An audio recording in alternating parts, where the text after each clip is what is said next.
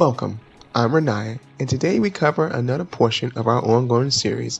But first, consider the following two questions. Question 1. Question 2.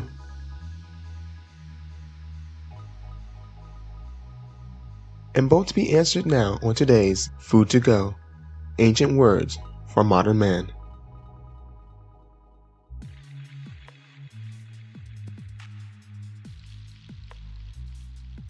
Let's begin. Verse 22 Accept no person against thy soul, and let not the reverence of any man cause thee to fall. So, our first question Should a righteous person accept anyone?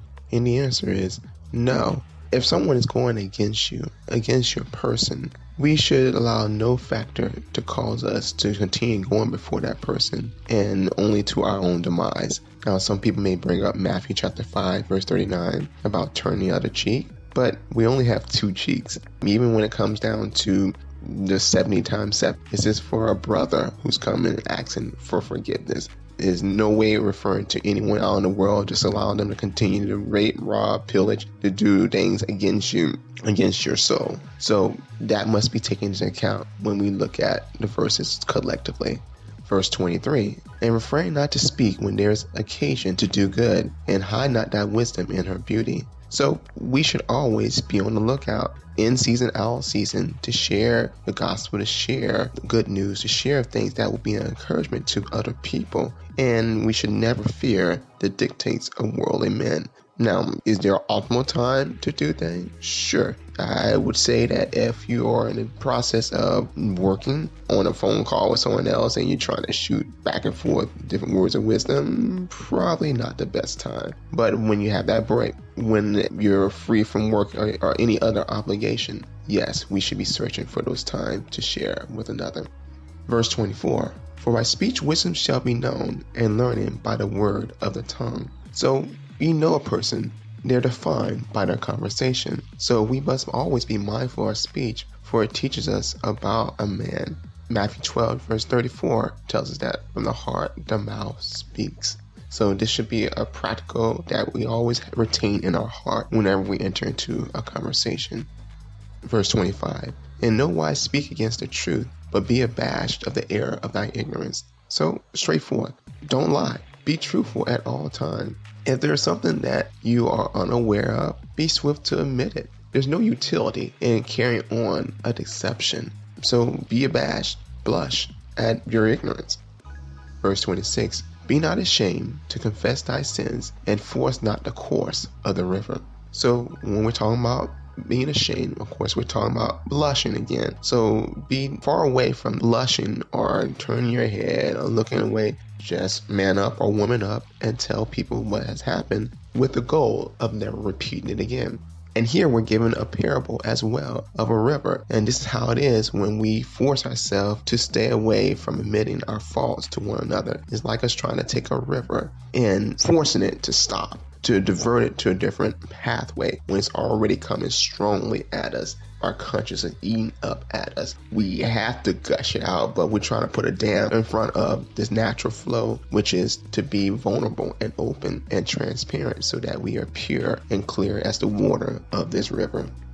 Verse 27 Make not thyself an underling to a foolish man, neither accept the person of the mighty. So, first, what is an underling? An underling is what I would call an apprentice.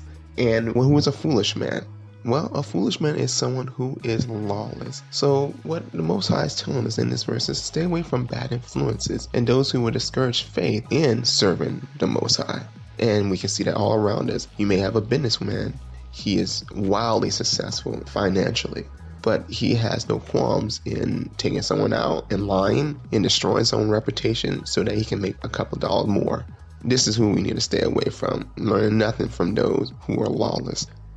Verse 28 Strive for the truth unto death, and the Lord shall fight for thee. Okay, so our second question Can a wise man ever stop learning? And the answer is no. We must strive continually. There's always something new, something just around the corner, some new ones that we can gain even when we have been in this fight in this process of being continued students for a decade, for two decades, for 50 years. So the Most High covers the rest. If we will bring something to the table, if we will strive with diligence, He will cover us and give us that which we are lacking. Verse 29 Be not hasty in thy tongue, and in thy deeds slack and remiss. So, the short of this, don't talk big, but deliver small. It's better to do something and then talk about it in moderation. So there's no boasting at all versus saying, okay, this is what I'm going to do, and then fall off the bandwagon altogether. Verse 30 Be not as a lion in thy house, nor frantic among thy servants. So protect the house. Be a lion toward those who would destroy it. As Proverbs 28, verse 1 says, The wicked flee, but the righteous are bold as lions. So it's good to be a lion. It's good to be that protector of those who are weak. But when it's turned internally, it becomes something that is very wicked. Verse 31 let not thine hand be stretched out to receive, and shut when thou shouldest repay. So, the takeaway from this verse is keep your promises, even when it hurts to do so. In this way, we shall find favor before Most High and before man. Let's review.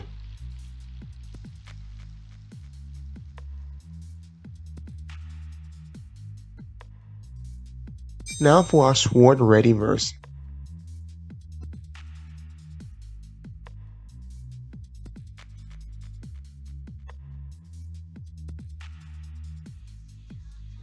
And that's a wrap. Until next time, Shalom.